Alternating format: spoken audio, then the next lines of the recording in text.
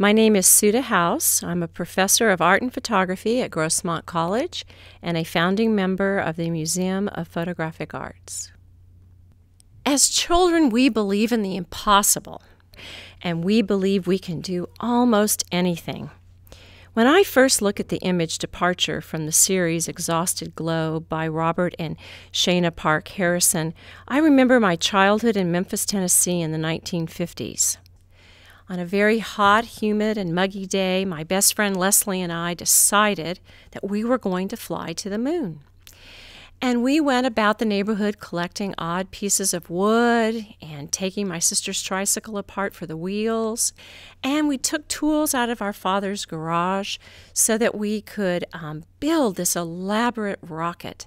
So after dinner, under a very dark, beautiful sky with more stars than you could count and the fireflies flickering about, we climbed aboard, we charged it up, we set our sights on the moon and we took off all within our imagination.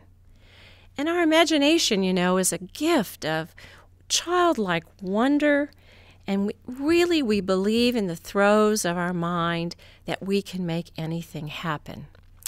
The ParkeHarrisons, on the other hand, believe something has already happened, that we adults are not really seeing what we have done to this earth that we have abused it, we've destroyed it, we are um, using science, technology, GMOs, and greed to live in the moment and not think about neither the past, the present, or the future.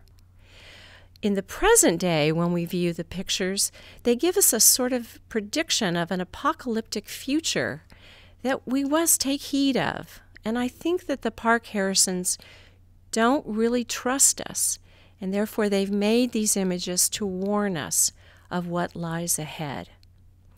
That's why this image is so important. It speaks of departing a planet that has been destroyed, when in our imagination we need to hope that that day never happens.